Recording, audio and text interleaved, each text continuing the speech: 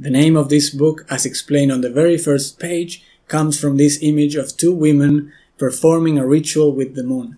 This came from ancient Greece in the second century BCE. Welcome, I am Francisco, and here are my five lessons that I learned from this book. If you're a pagan or a witch, I recommend you to get Drawing Down the Moon by Margot Adler. It's a long book, so let's get right into it. First lesson was about neo-paganism in America. It's really, really hard to define, but the one thing that most neo-pagans have in common is polytheism. This is the belief in or the worship of more than one god. Quoting from the book, a polytheistic worldview makes self-delusion harder. Deities are seen on a more symbolic and complex level. The gods are really the components of our psyches. They are generally unrecognized because our culture is not in harmony with them. So there are many, many gods. How many? Infinite amounts of them. So this makes us more open-minded, more tolerant. I believe in unity, in diversity. So one quote from the book is that the diversity of the gods commands a deep commitment to human diversity. Another thing is earth-centered. It means to preserve the earth, to worship the earth, nature, and the fertility deities. Neo-pagans have many gods, and some gods have to do with nature, but they are equally comfortable with the scientific discourse and magic ritual.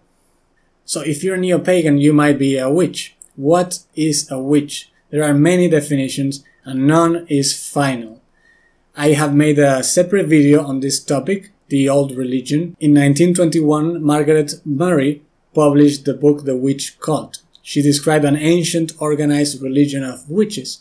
Some of the main aspects of these religions were the covens, the Sabbath celebrations, and worshipping a horned god.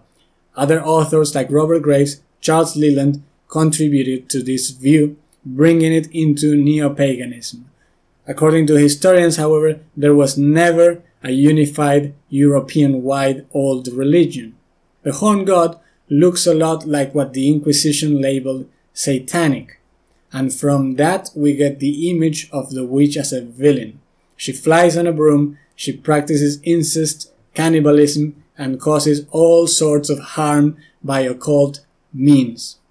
But this stereotype was inspired by very old folk beliefs and exalted during the witch trials in Europe.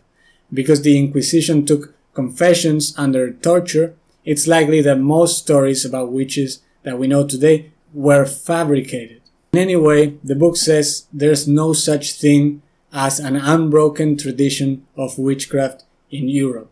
The author divides the types of witches that we can find today in neoclassical, neo-pagan, feminist, ethnic, and neo-Gothic witches, among other categories. You can see the numbers here. The classical craft has no elaborate initiations. It has very little ritual and is mostly oral. It's orally transmitted. In fact, the book says that the influence of high magic is fairly new in the craft. It also says that dogma is the worst thing you can have in the craft. It doesn't matter whether your tradition is 40,000 years old or whether it was created last week. Most people join the craft and not a tradition. Another quote I liked was, the detail of form doesn't matter, but the spirit and whether it works. That means whether it works for you. In 1974, the American Council of Witches attempted to define witchcraft, mostly to dispel the sensationalist image pushed by the media. The problem was that doing this involves a degree of centralization. It was a big struggle, but the conclusions were that the craft is not a single entity. Each coven is autonomous and different covens have different symbologies, different gods and goddesses, and different rituals and requirements. So there's really no dogma. The beautiful creativity which is happening in us is more important than all the old texts. That's why Wicca is flexible. It's religion without the middleman.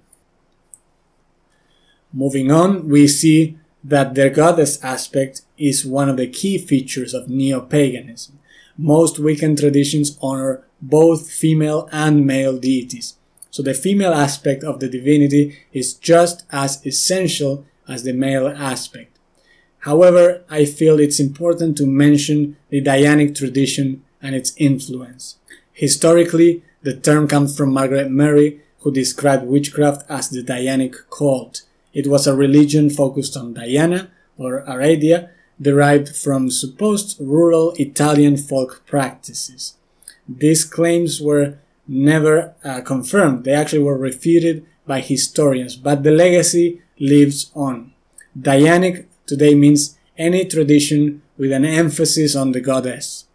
The first Dianic Wiccan group was started by Sid Budapest, meaning that there is one goddess who contains all goddesses. She is seen as the source of all living things and containing all that is within her.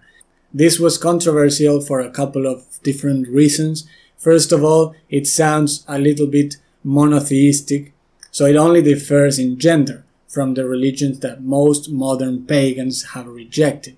As mentioned before, polytheism is one of the strengths of the craft. And the other thing is that it was women only, so many of these groups did not accept men or even transgender women. According to the author, the second wave of feminism reinforced the idea that witchcraft is a religion and a practice rooted in rebellion. So this showed that the craft can be political and spiritual at once. Today, much of cultural feminism has been assimilated by mainstream pagan groups, and there are many traditions that welcome men but still exalt the feminine. And the last lesson I learned from this book is about ritual magic. Is it a supernatural thing? Apparently not. According to the book, most witches and neo-pagans do not link magic with the supernatural. There are many definitions of magic, but it's something that works by alternating faith and skepticism. It is ever evolving and dynamic. All faiths and dogmas represent a point where magic stopped. Personally, I like this definition, which is very psychological. It says magic is the development of techniques that allow communication with hidden portions of the self and with hidden portions of all other islands in this psychic sea. Yet most pagans might agree with the definition by Aleister Crowley. He says magic is the art of causing change to occur in conformity with will. Another definition from the book is about what is a ritual of magic.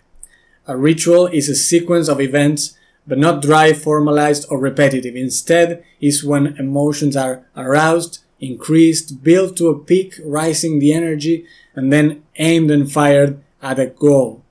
The purpose is to put us in an altered state within which we can access and control our psychic talents. Also to end the alienation from nature and from each other. In conclusion, the craft is a dynamic place of visionary art which is anti-authoritarian, it demands creativity, it lacks dogma, and ritual is first, myth is second, according to the book.